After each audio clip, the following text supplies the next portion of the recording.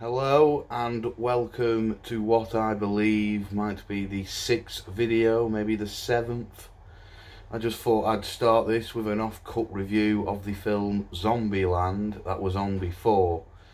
I, I, I don't get why people rave over that film. Jesse Eisenberg is an awful actor, looks like an absolute dickhead, and how he gets any part in Hollywood, I have no idea. And why the fuck do zombies seem to have super speed regardless of the fact, you know, they're dead? They shouldn't have super speed. Why do they, does this, whatever infection they get, grant them some fucking super speed? I can't wrap my head around it. And yet, they can die. I just don't get the whole die twice. We're already dead. You can't, you should be able to kill something that's dead. It, it, it's like multiple chances. Anyway, on to the reviews. I have been down the world food aisle at Tesco and got an array of products which I've actually left on the floor. I'll probably go through them one on one. I also have with me the kitchen sink bowl in case any of the crap I've got is going to make me spit or be sick. Better to get it into something than on the living room floor. Regardless, we are moving this house soon anyway, so uh, you know, you get fined if you leave shit on the, I don't know, if you've left some throw up, who knows. I will start with the bad things, what I believe are going to be the bad things. So right here, we have a Serge Peanut Punch. It has 8 grams of protein and 25% calcium. It's homogenized and UHT processed. Things that I have no idea. It apparently comes from Jamaica. It's inspired by goodness and created by nature. I do not like nuts. I'm not overly keen on milk. I like the retro carton design. You don't get cartons like this anymore. Reminds me of Umbongo, but Umbongo is nice. So I shall follow the instructions. Insert the straw. It's in. We're in. I'm going to try. Oh, oh, oh, oh, oh, oh, fucking hell it's it's I don't know if it's more chocolatey than it is nutty.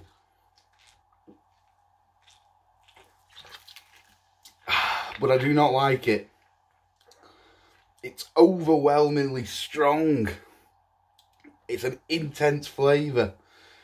It hits the palate straight away.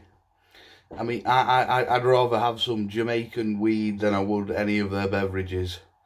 Unless there is an uber cool Jamaican beverage. I can't believe I've used the term uber cool.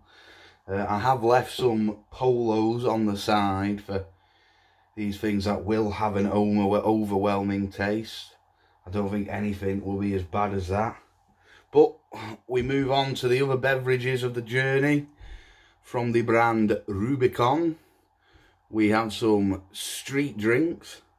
This is Bissap which is African inspired, more specifically Senegal, which is the home of the footballer Sadio Mane. So he's probably a fan of this drink. Uh, in case anyone in the family wants to actually have a try of this, I'm not going to drink out of the carton. That would be rude. I will put it into this glass that I stole from the sea view that looks like a vase. Oh, oh fucking hell. Um, it's uh, whatever colour you want to call that. I say that uh, doesn't smell too bad. Not too bad at all, that smell. Um, this says that it is hibiscus and ginger. I don't really like ginger. I don't really know what hibiscus is. I've seen it paired with peach before, but you know, is it a similar kind of thing to a peach? But, well, if the Africans like it, who knows? Cheers.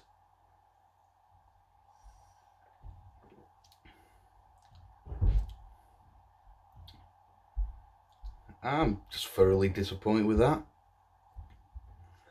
It's just a bit not a taste at all. It's rather depressing.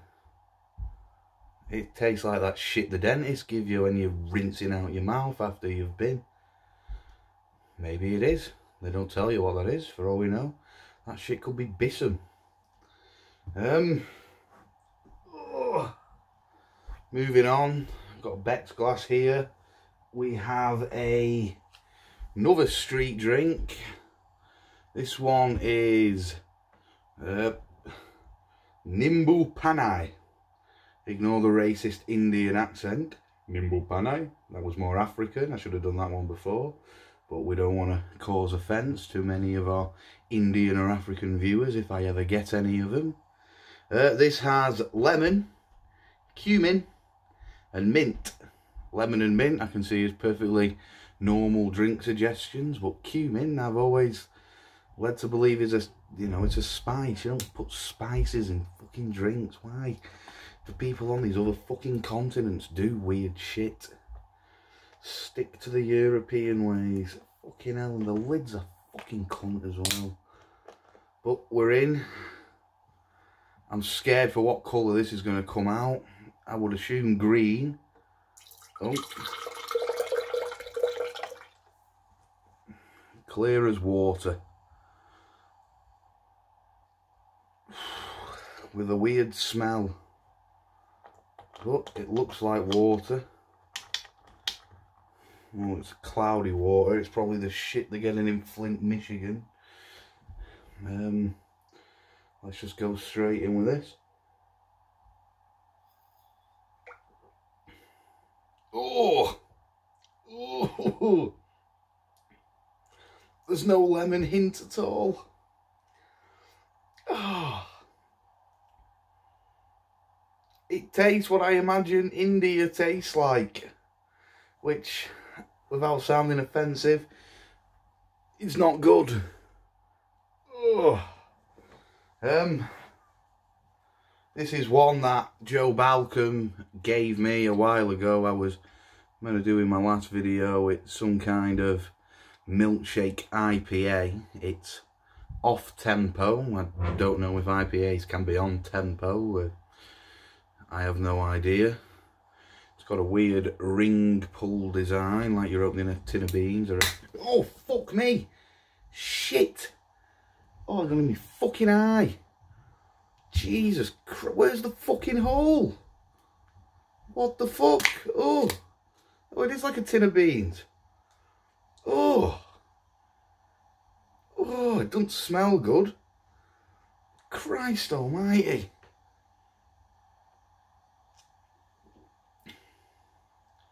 It doesn't taste a milkshake, it's just fizzy, it just tastes like fucking shit beer.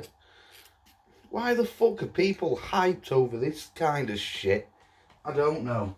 You you enjoy paying fucking four pound a can for fucking crap like that in your stupid fucking craft beer boxes that come. Because I will not join that trend. That shit was grim. Um, Another thing that I'm fairly certain is going to be crap. We have a, aha, you know, Take On Me, the Norwegian band, now in snack form. Apparently that is a Sezamki, Sesame Snacks, a sesame seed snack. Oh my god, it's in like three bits. Oh, it's crumbly. So apparently, it's like brittle you get three of these. I'll just I'm going to put it all in my mouth that's suicidal. I'll just take a bite and nibble. Oh it's fucking hard. I don't have the teeth for this. Oh I don't like it already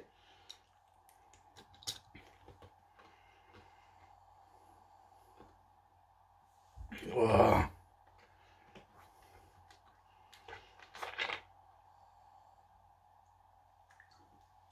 one minute, one minute. Oh. No. Sesame seed should remain on burgers and not in snack form. No, you Polish people again. Why, why are you doing these things? I was just praising Europe and you're letting the side down. Fucking hell. That's not nice. That is not nice. Um, the next thing, Advocaat, which I was, it was an aged verification thing at the till at Tesco. So it has alcohol in. On further discovery, the woman told me that it's a winter-based drink, that you're having a snowball. Then on further inspect, oh, pardon me, further inspection, it's eggnog basically. It's some kind of egg-based thing. Once again, I do not like eggs. Nor do I like egg-based products except mayonnaise. So this is a chocolate bar that tastes of mayonnaise.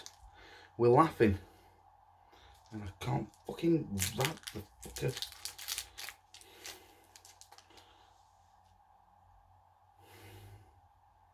It smells like chocolate. It doesn't smell of eggs. It has some kind of centre. Um, here we go.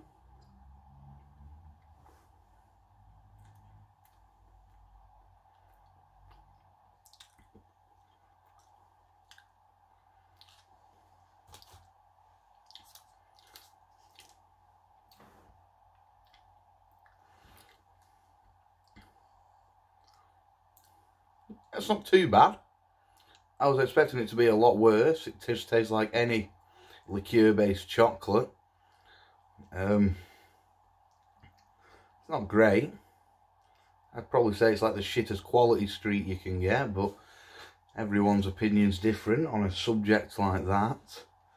Um, I have a fair few things, but I don't think they all warrant a video. We have this, another Polish thing, a Milkiz, hashtag Milkiz, Milkiz time, dobreskradzie.pl, Czekolada on Zanzim Milsikin, 30 grams. I'm hoping this is like a Kinder Maxi, you know, um, it smells like it could be. I'll just go fuck it.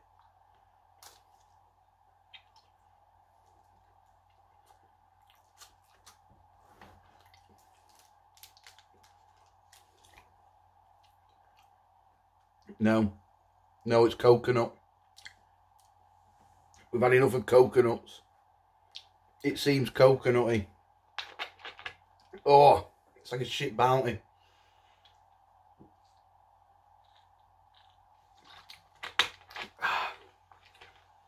Once again, coconut is our downfall.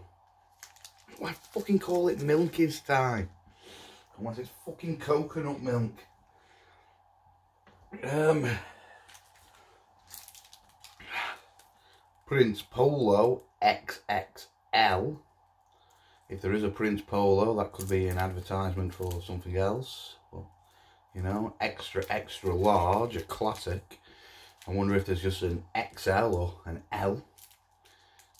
Uh, odd 1955 Roku. I'm establishing that's when it's established, not when it was produced. It's quite darker than I imagined. I thought it was going to be like a Twix. Seems to have a wafer base. Mm-hmm. It's a crappy wafer fucking chocolate bar. More wafer than chocolate. It stands nowhere near a fucking Kit Kat. It's crap. There's nowhere really good in Europe that does good chocolate, is there? Except ourselves. Um, I have something that's like a an Albi Max crispy bar with Rice Crisps and caramel in milk chocolate. So this is the Polish toffee crisp. Already, as you can tell, it's got more fucking bits than our English ones do. It's be quite pleasant, make a change and fucking the rest of the crap I do.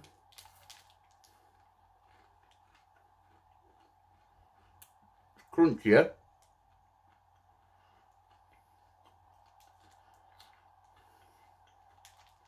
I wouldn't say this is nice as a toffee crisp.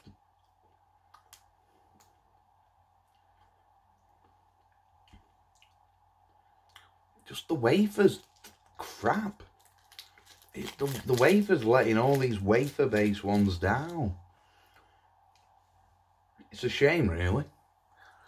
Um, I'm 14 subscribers, 13 subscribers off 50.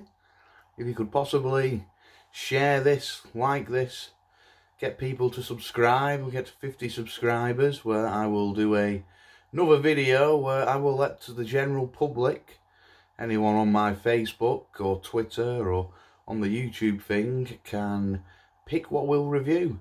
Doesn't necessarily have to be food. I can review various films, places, products, games, who knows. Um, but yeah, please share this video. And I've not rated them out of a star like I normally do. To be honest with you, they were all shit. They'd all get a variance of half a star to one star. Nothing struck out as, as good. Cheers for the, the milkshake IPA, Joe, but I weren't expecting it to fucking explode all over me. Um, thankfully, the sick bucket was not needed and I do not recommend peanuts in drink unless you're trying to get some protein boost. A Protein boost. So, thanks for watching and see you later.